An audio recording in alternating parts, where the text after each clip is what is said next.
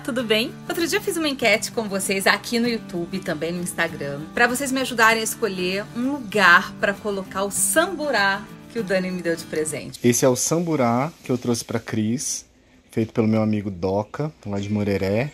Eu não sei o que poderia me acontecer se eu não tivesse trazido, então eu vou mostrar a reação dela eu entregando esse samburá. Olha isso!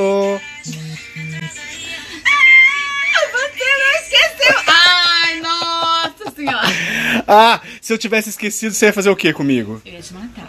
Eu ia te matar. Eu voltar pra Moreré. Ai, meu Deus, mas eu vi. Olha que coisa linda. São vários cipós. É natural isso, gente. Não é pintado. São três cipós diferentes. Sério? Ele fez uma mandala e disse que isso daqui é, afasta o mal olhado. Eu vou mostrar o vídeo dele falando isso aqui pra vocês. Olha os seus samburás nascendo aqui, Cristina Maia. Das mãos de Doca profundo conhecedor dos cipós aqui do meio do mato, né, Doca? E diz que esse cipó aqui é bom para quê, Doca? Espantar óleo ruim. Ah lá, muito bom. Finalmente o Dani me trouxe esse samburá e dele se não trouxesse. Já rolou cobrança aqui, inclusive. Lembra dessa cobrança? Esse aqui são cestos que ele trouxe de Moreré. Sim. Samburás. Samburás não trouxe um pra mim. Nenhum pra mim. Eu vou voltar muito pra Moreré e eu vou acabar trazendo um monte pra ela. Não vai saber nem onde enfiar samburá na casa dela. Vocês me deixaram louca, mais em dúvida ainda, porque cada um sugeriu um lugar. Justamente por ter essa mandala que dizem que afasta o olho gordo, muita gente sugeriu a entrada da casa. Teve gente que também sugeriu na sala de jantar, lá na parede, aquela que eu fiz, mas acho que ela estava lotada demais. Pensei em levar para cozinha, para colocar pão pendurado bem ali na entrada. Ainda é uma possibilidade. Só que aqui foi o último lugar que eu pendurei esse samburá para poder tirar foto e ele acabou ficando por aqui aproveitando que ele ficou por aqui na varanda da minha casa, eu resolvi hoje retomar o tour pela minha casa e mostrar para vocês esse cantinho da varanda.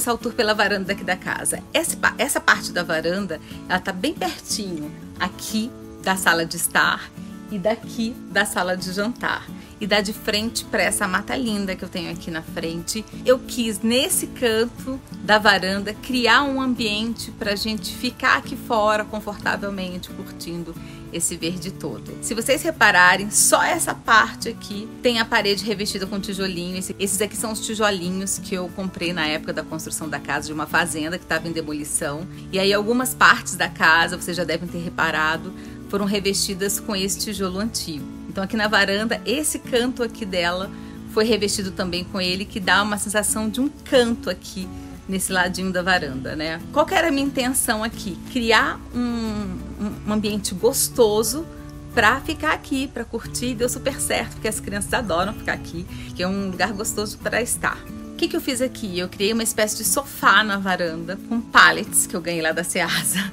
de um produtor daqui de Campinas. São pallets mais reforçados, se eu não me engano, 1 por 1,10 por 1,10.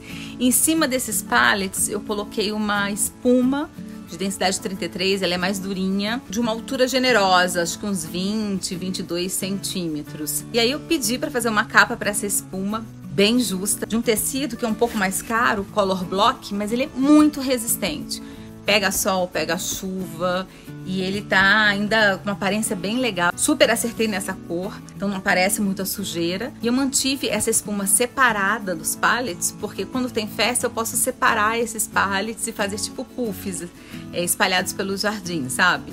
E ficou muito confortável pra gente ficar aqui em cima, dá pra deitar, coloquei umas almofadas no canto, a gente se joga por aqui mesmo. Aqui do lado de cá tem uma espécie de bancadinha formada pela janela mesmo, então eu coloco umas plantas, às vezes coloco velas, serve de apoio também para colocar uma taça. A gente usa bastante esse espaço. Aqui na parede eu coloquei uns castiçais, eu acendo umas velas aqui, de vez em quando coloco umas luzinhas. O samburá agora tá aqui no cantinho, pendurado num prego ainda. Na ponta de cá eu tenho um carretel desses de, de fios que eu mesma reformei com os encruz há muito tempo atrás. A gente colocou umas divisórias nesse carretel, porque já foi usado para pôr livros, agora é uma mesinha aqui. Pintei agora há pouco tempo de cinza. E em cima eu coloco umas plantas, objetinhos de decoração. Tem uma panela antiga aqui que eu garimpei lá no Mercado Surpresa, tem aqui o vídeo desse ferro velho para vocês verem. Então aí aqui no canto coloquei aquele banquinho que anteriormente foi feito para ficar lá na frente da casa, lembra do vídeo?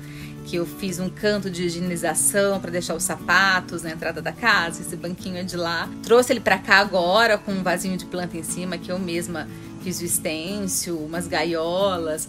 Aí aqui também tem um coração de suculentas decorando essa pilastra também revestida de tijolinho. Esse coração de suculenta já mostrei para vocês também como é que eu fiz. Nesse vão aqui, pendurei três suportes de macramê que eu ganhei da Priscila, que fez aquele primeiro vídeo de macramê com a gente. E aí, aqui do lado de fora, eu criei um outro estar também com outras plantas pendentes. Aqui tem um caixote antigo que eu garimpei. Coloquei ele de cabeça para baixo aqui, para servir de apoio para samambaias que eu tô tentando recuperar aqui em casa. Do lado de cá, ali tem uma outra unidade do pallet. Em cima, eu coloquei um quadro, que era um cocar que eu tinha ganhado de presente há um tempo atrás de uma amiga. Antigamente podia se vender cocar. Até onde eu sei, agora é proibido vender essas penas, né? E eu não sabia o que fazer com ele, achava ele lindo. Aí eu pedi para fazer um quadro. Acho que ficou super legal ali naquela parede.